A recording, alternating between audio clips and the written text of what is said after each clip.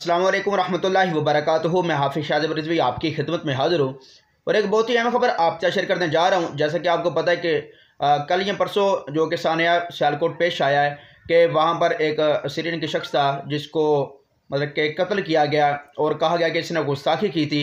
और साथ ये भी खबरें चल रही है कि इनका आपस में कोई ज़ाती मामला थे जिसकी वजह से उस शख्स को कत्ल कर दिया। कत्ल करने के बाद फिर उसको गुस्सा के रसूल का रंग दे दिया।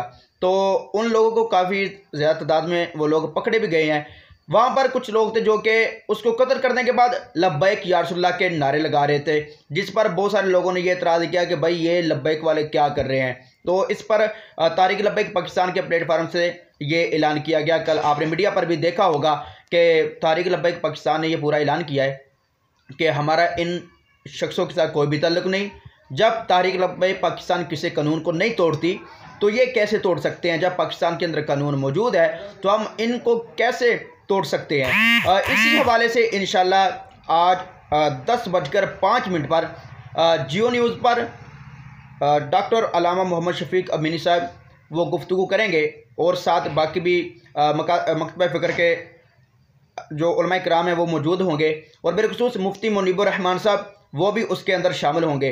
तो ये गुफ्तु जियो न्यूज़ पर दस बजकर पाँच मिनट पर आज रात पी एम दस बजकर पाँच मिनट पर अभी ये गुफ्तु शुरू होगी। तो तमाम दोस्त इस गुफ्तु को ज़रूर सुने और आगे ज़्यादा से ज़्यादा ये पैगाम तमाम लोगों तक पहुँचा दे ताकि सारे लोग उस गुफ्तु को ज़रूर सुने। वो सानिया सियारकोट के हवाले से ही वो गुफ्तु होगी, जिसमें मुफ्ती मुनीबर रहमान साहब और बाकी मकातब फ़िक्र के जो कराम है वो भी होंगे और बिलखसूस डॉक्टर अलामा मोहम्मद शफी अमीनी साहब तहरीक लबैक पाकिस्तान के प्लेटफार्म से होंगे। लबैक लब्बैक लबैक या सल्ला वसम